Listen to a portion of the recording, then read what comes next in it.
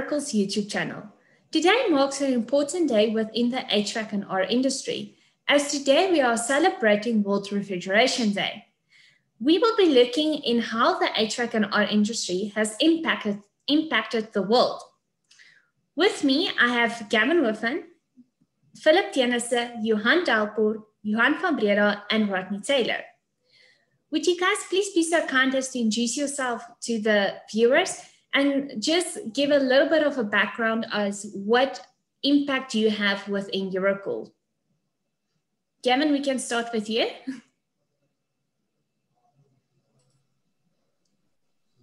Hi, yes, my name is Gavin Whiffen. I'm the regional manager for you in Cape Town. And um, we look after the Western Cape and the other Cape provinces Philip? Hi, my name is Philip Kinnison. I'm the HVAC manager, and my responsibility is to move uh, uh, HVAC within the Eurocool company. We specialize in green. Johan Delpoort? Hi, I'm Johan Delpoort, the branch manager of Eurocool Bloemfontein. I've been in the wholesale industry since 1991 and I've got a, a huge um, engineering background, so I'm doing a lot of engineering for the um, refrigeration market in the Free State. Johan van Breda. Hi, good day. My name is Johan van Breda. I'm the National Product Manager in Eurocool. Uh, my responsibility is to look after the Eurocool stock portfolio, and I've got 27 years um, industry experience. Rodney Taylor. Hi, I'm Rodney Taylor. I'm the MD of Eurocool, and I've been in this industry since 1996. So, in our discussion, we will be discussing a few topics as to how the HVAC industry has impacted the world. And my first question for you guys are how does the HVAC and R industry play a role within regards to the food preservation of South Africa and the world. We can start with Johan Delpoort. Yes, thank you, Deirdre. I, I'll just say to Philip that um, in, in Free State, I actually uh, store a lot of uh, seed potatoes uh, that, that they keep for a, a, long period of time and then they plant it when, it, when, they, when the season starts other thing that they do is they also keep a lot of bananas um, in the market. Uh, they, they've been plucked um, green uh, or um, not ripened yet. And then when the market is ready, they introduce a chemical to them uh, and, and it ripens and then they can sell it. Um, then we've got a lot of meat uh, pre- pre- uh, preservation um, with a lot of abattoirs. We almost like the, the meat basket of South Africa here in, in the Free State so yes, that that's that's some of the food that we have um, that we have here in, in the Free State area. And Gavin, Dave, with you in the Cape Town. Hi, um, obviously on the coast, like, like in Cape Town, uh, the fishing industry, for instance, is very, very important. Um, we in Cape Town have a huge uh, fishing fleet and you know these fleets go out to sea and they catch the fish out there. Uh, they start immediately to, to, to preserve the and uh, put them into huge fleet on the ships um, so that the cold chain is, is not broken. You know, they bring those fish back to the harbour, they unpack them, uh, they put the packages straight to the supermarket, and the cold chain lasts all the way through there until it gets to your fridge and, and then you have a lovely meal. So yeah, that's very important for, for all aspects uh, of, of the refrigeration industry. Wow, that's very, very interesting to know that not just do our industry provide parts for refrigeration in your normal household, but also in how when you, as you said, when they go out and fish, how they keep the, the fish cold and fresh until it comes to you in your own personal fridge. Deirdre, I think also to add there, there's been quite a lot of technology advances in terms of temperature control within supermarket fridges and cold storage, which by controlling the temperature accurately, you extend the shelf life of products in the supermarkets and in the shops significantly, which obviously reduces overall food wastage. Very true. Our next question that we have, and right now I'm going to start with you, is would you say that the HVAC and R industry also plays a crucial role in regards to medical supply preservation, such as the current COVID 19 vaccines? Uh, Deirdre, yes, without a doubt.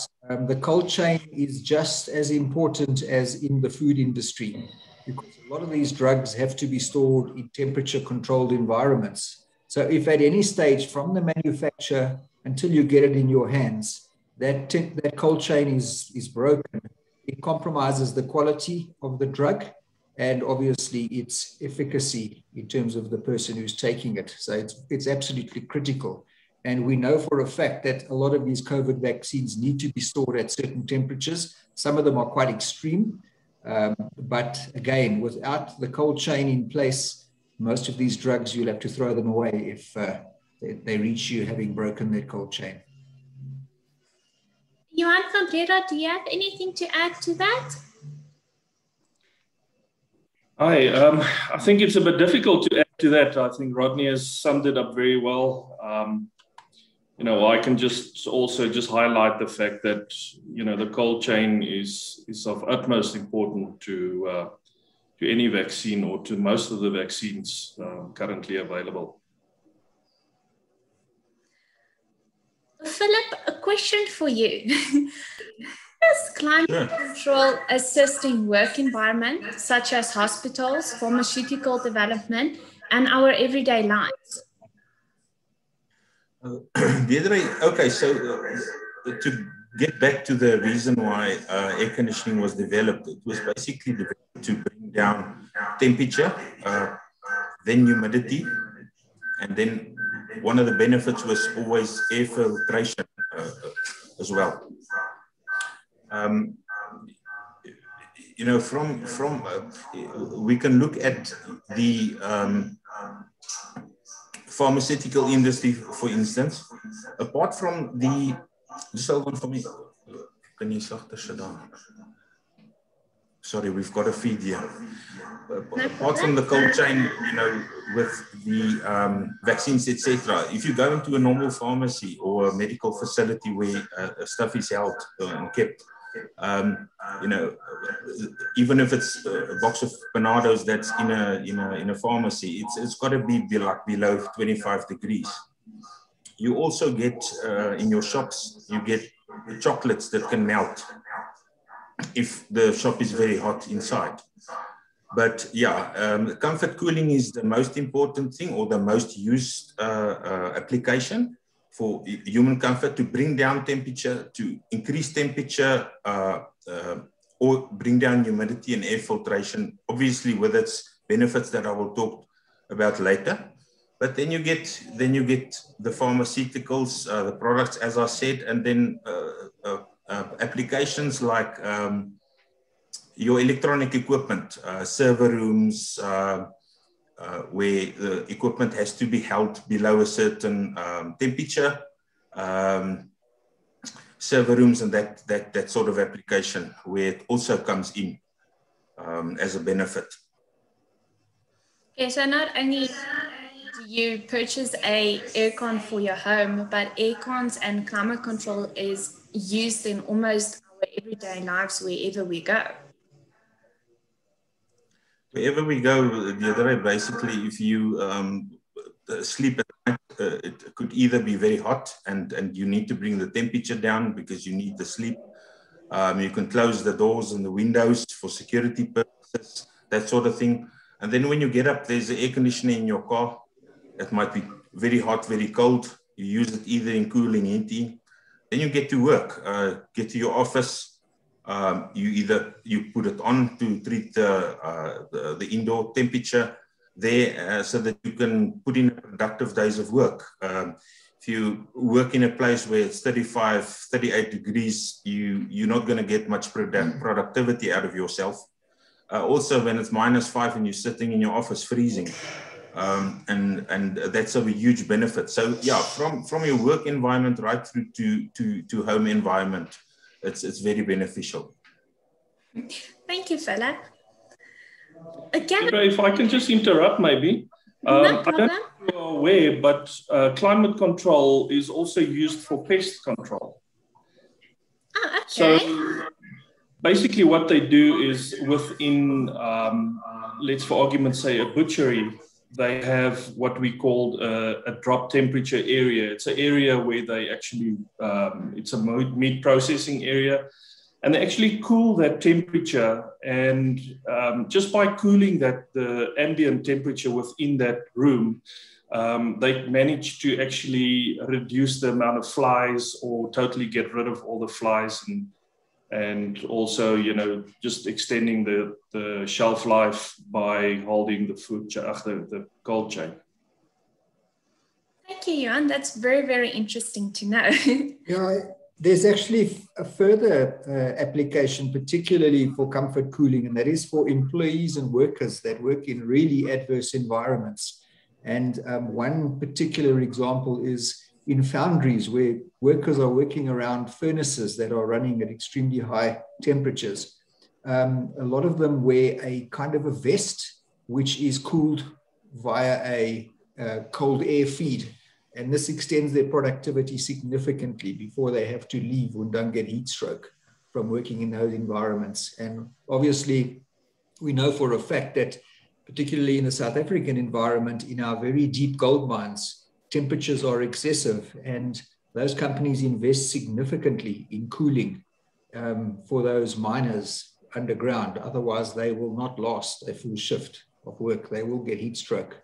So it's pretty critical in a lot of working environments as well. And Rodney, uh, could you perhaps explain to our viewers what type of job opportunities the HVAC and R industry creates?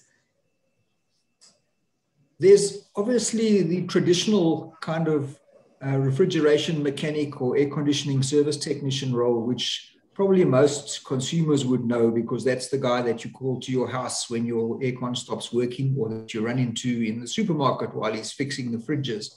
But obviously, behind the scenes, there's a lot more development that goes on. There's a lot of opportunities related to the logistics of shipping air conditioning and refrigeration components around the world. And obviously, in the manufacturing facilities where a lot of these components and, and the equipment is made. So, um, you know, around the peripheral of all of that, you need financial people that are running these companies and handling the finances and the cash flows and all of these good things. So, the opportunities are incredibly broad in this industry. Thank you, Rodney. Does anybody else have something to add as to how the HVAC and R industry impacts the world?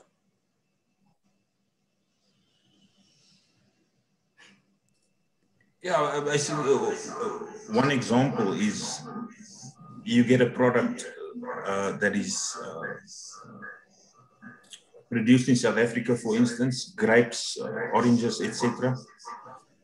And there's refrigeration, mostly refrigeration used in, in, in the preserving of that um, um, product. It gets loaded into a container, which is refrigerated. It's, it's, it's put on a ship ship can take three to four weeks going into Europe. Uh, that product gets to the other side still fresh. Um, it gets offloaded into a different truck. That truck is refrigerated, gets into um, the storage facility, which is also refrigerated.